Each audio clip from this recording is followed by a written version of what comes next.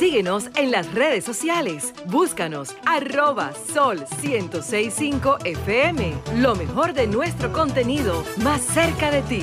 Sol 106.5. Una estación RCC Miria. Buenos días, María Elena, Pedro. Día, doña. Julio, por supuesto, buenos días. Pedro. bendiciones. Adelante, doña Eh, Consuelo, líder tú el guía. tema que cogiste la semana pasada, tienes que buscarlo porque ya se regaron la gente de, del servicio exterior y le dijeron a Roberto Álvarez que no, que no puede privatizar los servicios de pasaporte, etcétera. Roberto dice que no, el ministro, por El supuesto. ministro, sí. Pero sale ahora en Diario Libre, te dejo el tema porque es tuyo. No, pero, ese- pueda- pero, pero- pero va- vamos a abordarlo, doña. Sí, no, no, lo que quiero decirte que Diario Libre eh, eh, es, una, es una asociación que se llama CODEX, Coalición de Organizaciones Dominicanas en el Exterior, CODEX, rechazó lo que considera un servicio de privatización que deja en tela de juicio la capacidad Exacto. de los funcionarios del país. No, no, Eso eso- sale, ¿ok? Y dicen que no lo van a permitir. Roberto, el ministro, le negó y dijo, no, no, es una terciarización de los servicios. Lo que no se va, no, no, no van a, a manejar los pasaportes, no van a manejar las visas, son servicios terciarizados.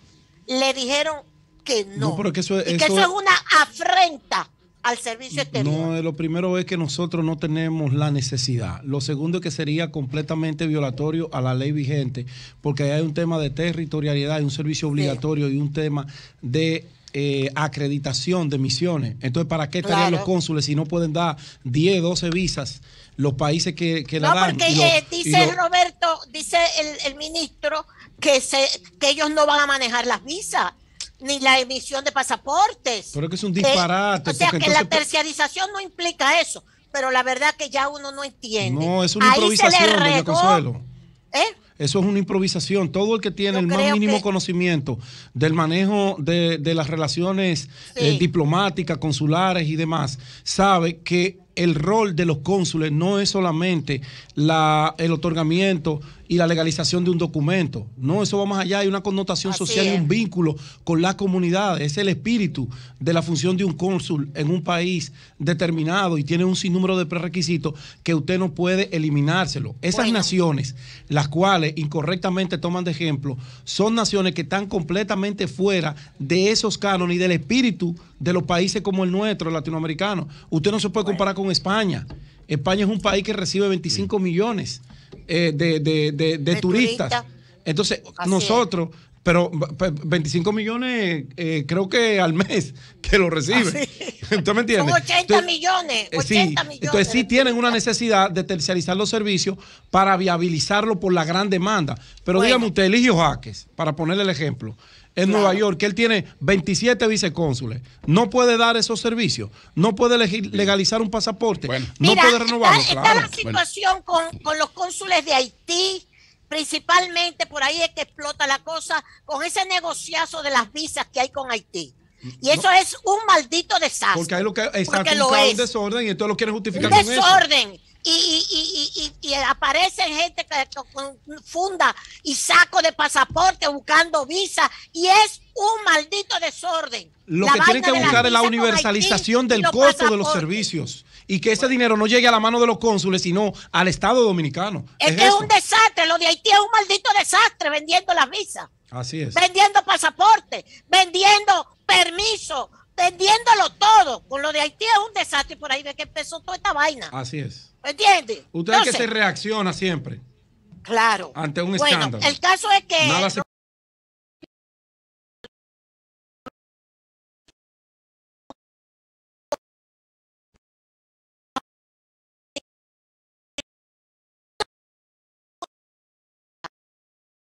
eso.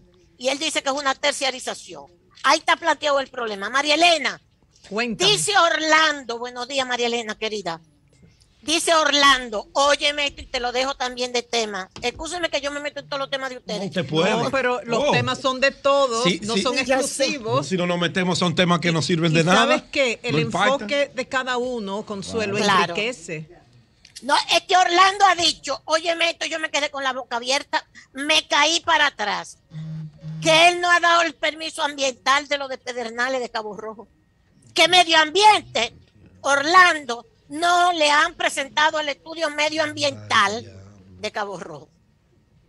Da unas declaraciones que salen hoy. Cuidado si lo Te lo sacaron de contexto. Te lo dejo.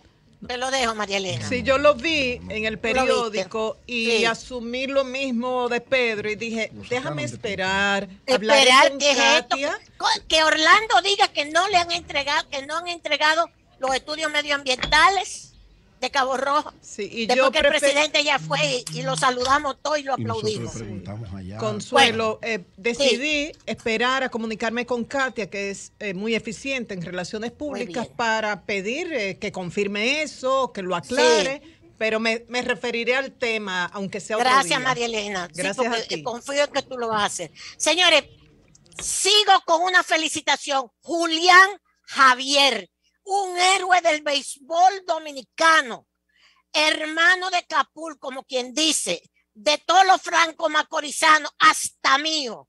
El viernes yo recibo una llamada. Consuelo, es Julián Javier. Julián, desde San Francisco. Dime, Consuelo, voy para el Salón de la Fama de los Cardenales de San Luis. Yo me emocioné porque queremos mucho a Julián. O sea, Capul es de San Francisco de Macorís, mi marido, y son hermanos, como quien dice hermano. Así que Julián, que Dios te bendiga, no solamente por tu carrera en el béisbol, sino por tu comportamiento ciudadano siempre. Una bellísima persona. Se ha entregado, yo he viajado con Julián, con Capul y con Julián. Julián yendo a los, a los campos a enseñar a batear a los niños. Hemos ido con Julián. ¿Cómo se batea? ¿Cómo se fildea? Julián hace todas esas cosas. Dios te bendiga, Julián. Muy merecido. Y qué bueno que los cardenales te hacen ese reconocimiento. Y a Percio Maldonado por el documental de El Nuevo Diario. Trujillo después de Trujillo. No pudimos ir el viernes por, por esta vaina del COVID. Yo voy a ver mañana pasado si sigo todavía positiva. Ahí vi a José también que tenía la misma situación. O sea, nos sentimos bien, pero salimos positivos en el COVID cuando nos hacen en la prueba. Pero bueno, vamos a ver. El caso viene a ser que no pudimos ir, Percio, y él lo sabe, mi hermano Percio Maldonado, a el presidente fue en, el palacio y el presidente participó, por supuesto. El documental Trujillo después de Trujillo, excelente, va para la UNESCO. Lo van a presentar en la UNESCO. Muy bien, Percio, muy bien al nuevo diario. Hay que hablar de Trujillo. Estaba leyendo, por cierto, estaba leyendo, que me he puesto a leer, gracias a Dios, hasta eso. El oro de Fran Moya Pons. El oro, el libro sobre el oro dominicano de Fran Moya Pons. Y hay que ver lo que dice Fran Moya Pons de lo que fue esa mentalidad desarrollista, desarrollista de Trujillo, que por más que hoy, que sea el 30 de mayo, todo lo malo, un desgraciado, tirano, y desarrolló el país. Punto. eh, Y pónganse bravos. Lamentablemente, asesino, desgraciado, todo lo que tú quieras. Es así. Entonces, ya hay que quitar la vaina de que no se puede hablar de Trujillo. Sí, se tiene que hablar de Trujillo. Hay que hablar de Trujillo. ¿Ok? Ok. Otro. Este desorden en el Senado de la República, hasta la señora Salvador, la senadora Salvador, Melania, ni fue el día que aprobaron la, la, la, el proyecto este de la modificación de la ley. Una ley del Consejo de Estado de 1962, la ley 6132, para la libertad la, de, expresión, etc. 1962, muerto Trujillo, el Consejo de Estado hace esa ley. Tenemos, hay que verla, ¿verdad? Perfecto. Salieron huyendo los senadores hasta Faride. La misma que la propuso no fue a la sesión. Ahí está. Ahí está ahora mismo que me acaba de llegar. Fundación Justicia y Transparencia. Que es un tollo la ley 61, eso que se ha propuesto para modificar la 61. ¿Qué es un tollo? Aquí lo tengo atrás, que me está, perdón, que, que, me están escribiendo en la, la, la Fundación Justicia y Transparencia, que no puede ser posible. La califica sencillamente como ambigua, desastrosa, que lo que proteja a los funcionarios públicos, que lo que proteja a los diputados y senadores, que es una ley que va en contra de los ciudadanos y los derechos de los ciudadanos a la libertad de expresión. ¿Ok? Potentino. Así que la Fundación Justicia y Transparencia le hace una crítica demoledora a esa propuesta. Señores, óiganme esto. Déjame ver si yo puedo. Leí este fin de semana. ¿A dónde fue que el muchacho este, Salvador Ramos, compró los rifles? En una tienda, allá en Estados Unidos. Él entró con 18 años. Esa tienda que se llama Daniel Defense, que le queda cerca, cerquita de donde él vivía. Dice que vende traje de baño, que vende esto, que vende lo otro, sombreros. Lo que hemos viajado por Estados Unidos sabemos que esas tiendas existen en todas partes.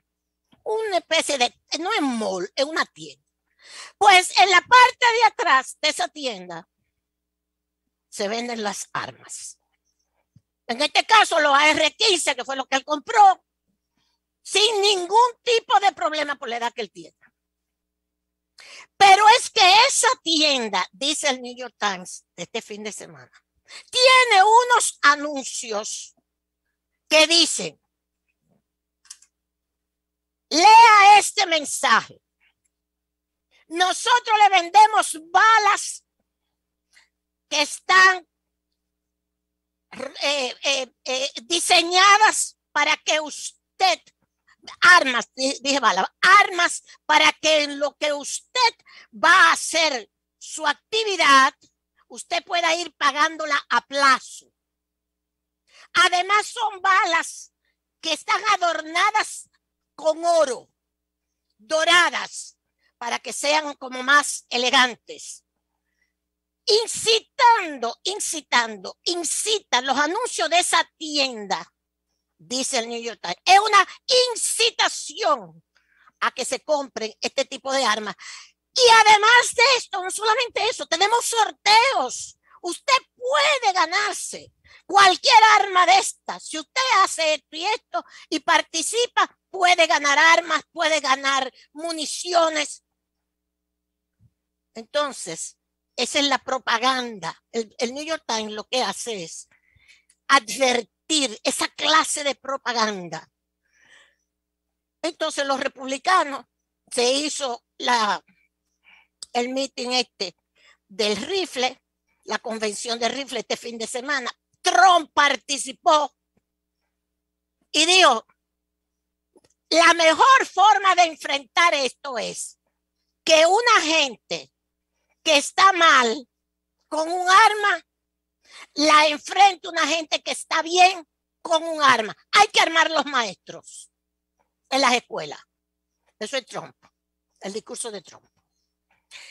Biden fue, le han dicho de todo a la policía, de que no actuó como debió haber actuado rápidamente. Hay una crisis enorme. Y la situación hasta Biden le han dicho, le terminaron diciendo a Biden, que hasta me llamó la atención. Le echaron un boche a Biden. Esto fue Trump. Si Estados Unidos tiene 40 mil millones de dólares para enviarlos a Ucrania, deberíamos ser capaces de hacer lo que sea necesario para mantener a nuestros hijos a salvo en casa. Destacó Trump provocando una enorme ovación. Gastamos miles de millones en Irak y Afganistán y no logramos nada. Antes de construir una nación en el resto del mundo, deberíamos construir escuelas seguras para nuestros propios niños en nuestra nación. Trump en la convención de rifles, y que, que aquello se vino abajo. Y lo de, quería referirme simplemente a lo siguiente, lo de Colombia. Lo que da es vergüenza. Yo te oí tu comentario, Julio, y estoy totalmente de acuerdo contigo. Ahora, ¿usted cree que esta segunda persona que quedó, este señor, Rodolfo Hernández, 77 años, la edad que tengo yo, con el 28-15, por encima de Federico Gutiérrez, le dice la BBC, le dice, analizando eso, diferentes formas de ir contra las élites, le dice la BBC, los resultados de Petro y del señor Hernández. Diferentes formas de ir contra la... Ah, oigan aquí, oigan el término de las élites. Diferentes formas de ir contra él, las élites. Yo entiendo lo de Gustavo Petro, porque Gustavo viene de la izquierda, nos conocemos todos, etcétera, etcétera. Ok, estoy de acuerdo. Pero usted cree que este bestia, porque esto es un bestia, que desde la cocina de su casa fue que anunció, como dijo Wilson, Debió haberlo hecho mejor. Ya lo estaban saludando. Que, que, que, que, genial. Que desde la cocina de su casa anunció su triunfo. Que vaya al inodoro y lo anuncie. Porque ahorita aparece uno que va más, más radical y se va a sentir el inodoro a anunciar también el triunfo. Porque ahora eso de eso es que se trata todo este populismo, banalidades. La banalización de la política la rebelión de las masas. Hasta Ortega y Gasset me puse a buscarlo. Hasta Ortega y Gasset. Las rebeliones. O sea, es un deseo. Lo mismo que dijo Julio con Perú, con, con Chile. Es cierto. Este señor, una campaña contra la corrupción. Y cuando termine, antes de irse a la segunda vuelta, está sometido a la justicia por corrupto. Él con un lío de una basura, de recogida de basura con el hijo, él y el hijo, millonario. Que lo que saliera en TikTok hablando plepla.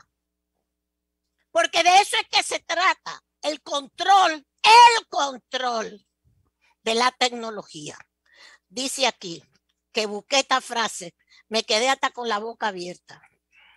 La encontré. Esto es un panameño. En el mundo globalizado que vivimos, la ciencia y la tecnología parecen desplazar la filosofía.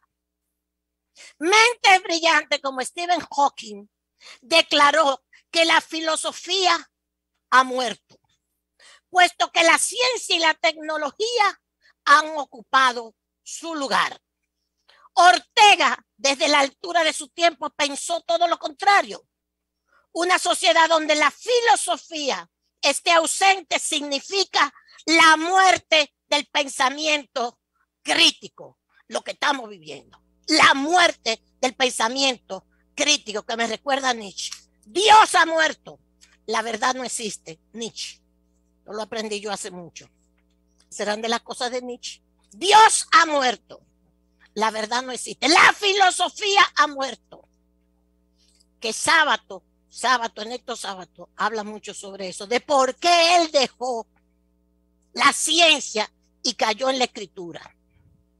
Porque querían sacar la filosofía por la puerta de atrás. Entonces yo creo que este mundo globalizado que vivimos, la ciencia y la tecnología, parecen desplazar la filosofía. Mente brillante como Stephen Hawking declaró que la filosofía ha muerto puesto que la ciencia y la tecnología han ocupado su lugar. Yo no sé dónde vamos a llegar. Finalmente, varios choques entre funcionarios siguen pendientes. Está el choque de Miriam con Roberto. Roberto no ha vuelto a hablar. Y Miriam le dijo, no te voy a contestar.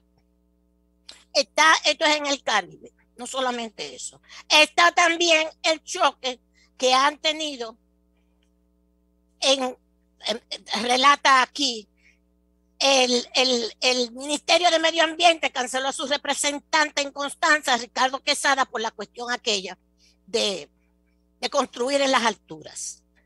Pero también tenemos el choque de Celso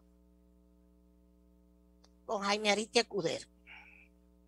Quiere decir que se están dando situaciones y hasta le sacaron a relucir las declaraciones que dio aquella señora, no me acuerdo cómo se llama, de que nosotros vestimos mal en los programas de televisión, que tenemos que vestir mejor.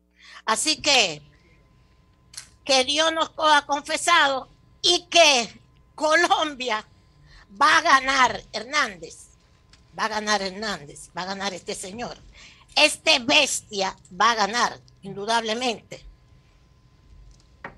Pero la verdad es que Dios ha muerto y la filosofía también. La banalidad Así. es lo que existe. Gracias, Julio. Bien, doña Consuelo, aclara la senadora Faride Raful Ajá. que ella estuvo presente, más ah, no votó. Ah, que no votó. ¿Eh?